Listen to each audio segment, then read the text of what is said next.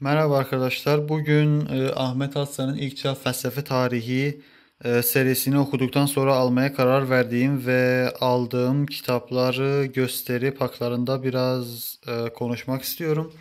Hemen ilkiyle başlarsak Homeros'un İlyas ve Odüsseyi ikisi aynı kitapta.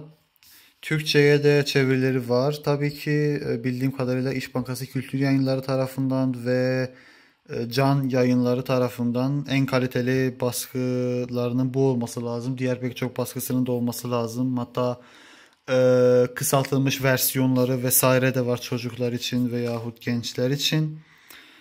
E, bu baskının küçük bir sorunu yapraklarının birazcık fazla ince olması. E, yani arka taraftaki mürekkep bile gözüküyor. Fakat onun dışında bir sıkıntısı yok. Hemen sıradakine geçersek o da Thukydides'in e, Geschichte des Peloponnesischen Peloponnes Savaşı'nın tarihi diye bu aslında iki kitaptan oluşuyor fakat bende sadece ilki var. Biraz e, da pek bir hoş bir hikayesi de yok. Niye sadece bende ilki var da ikincisi yok diye. Fakat ikincisini de bir ara e, temin etmem lazım. Hemen öbürüne geçersek Herodot var. Herodot'un Das Geschichtswerk muhtemelen vardır Türkçe çevirisi çok önemli bir kitap. Adını bilmiyorum ama bunun da yaprakları e, çok ince fakat güzel. Şeyi de güzel. Fontu da güzel. Çok güzel bir kitap. İkinci el bu arada aldım bunları. Bunu bunu da ikinci el aldım. Bu e, çok uygun fiyatlı sıfırdı. Onu sıfır aldım. Sıradakine geçersek bu aslında benim aşağı yukarı e, iki sene önce aldığım fakat benim elimde olmayan bir kitaptı. Bir öğretmenime ödünç vermiştim e, okusun diye. Evet. Das frühe Persien Geschichte eines antiken Weltreichs.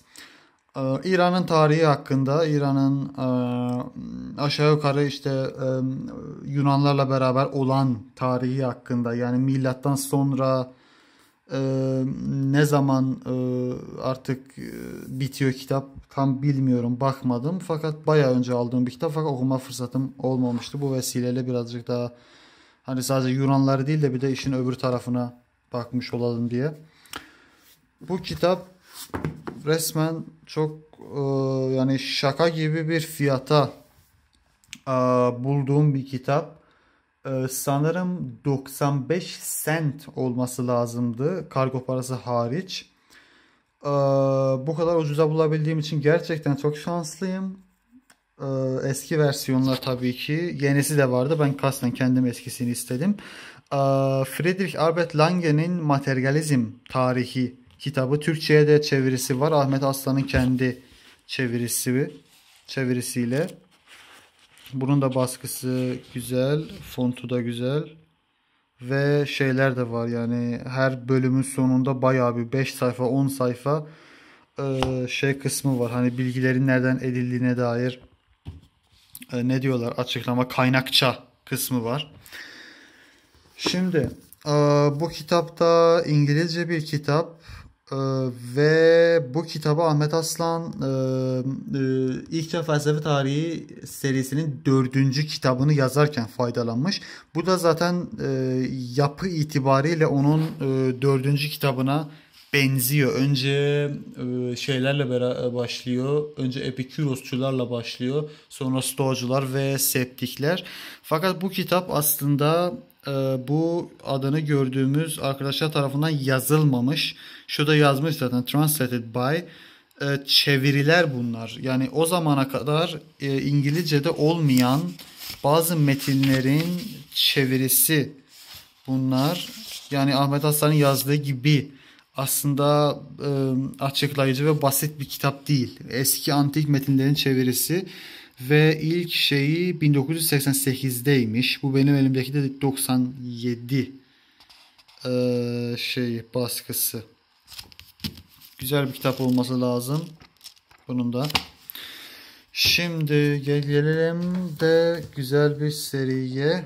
Şurada Grekische Denke, Yunan düşünürleri diye 3 ciltlik. Bunu da çok e, ucuza bulmuştum diye hatırlıyorum. E, 10 avro olması lazımdı sadece. Bu da ikinci el. Gerçekten çok güzel. Ee, ve bu da aşağı yukarı Ahmet Aslan'ın işte e, 1, 2 ve 3. kitaplarına benziyor. İlk kitap aşağı yukarı e, sadece e, işte şu presokratikler hakkında, Sokrates'ten önce gelenler hakkında ve eğer yanılmıyorsam septikler de birinci kitapta Ahmet Aslan'ın e, serisinde başka. Septikler ikincide geliyor.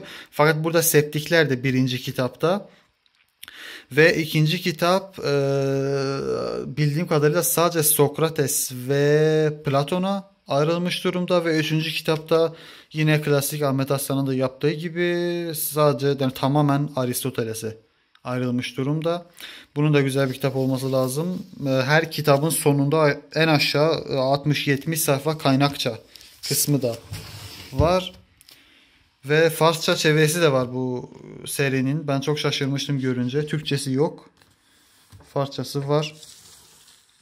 Ve bir de e, yani tabii ki ben bunu zaten okumak istiyordum. Fakat e, yani Ahmet Hasan'ın e, İlk Felsefe Tarihi'nin 5. kitabını okuduktan sonra artık kesin karar verdim okumam lazım diye. Bu İncil. Sizin de gördüğünüz gibi. Bu sadece Farsça eski ve yeni ahitten oluşuyor. İkisi de var. Hem eskisi var hem yenisi var. Sıkıntısı da yine kağıtları çok çok ince görüyorsunuz. Fakat onun dışında bir sıkıntı yok. Aslında çok da güzel bir baskı.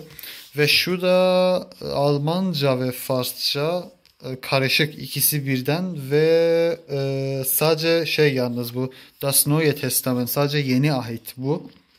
Açalım bakalım bir içine. Şu da aslında çok güzel bir şekilde yapılmış. Evet.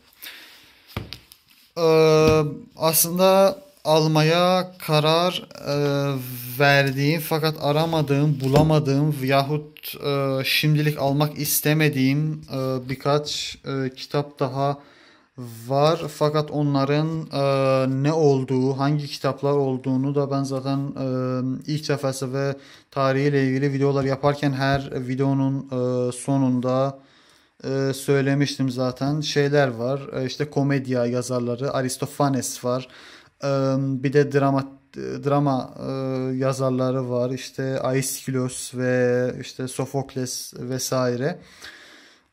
Onlar onlar olması lazımdı. Hani daha almamış olduğum ara, kitaplar arasında. Evet videoyu izlediğin için teşekkür ederim.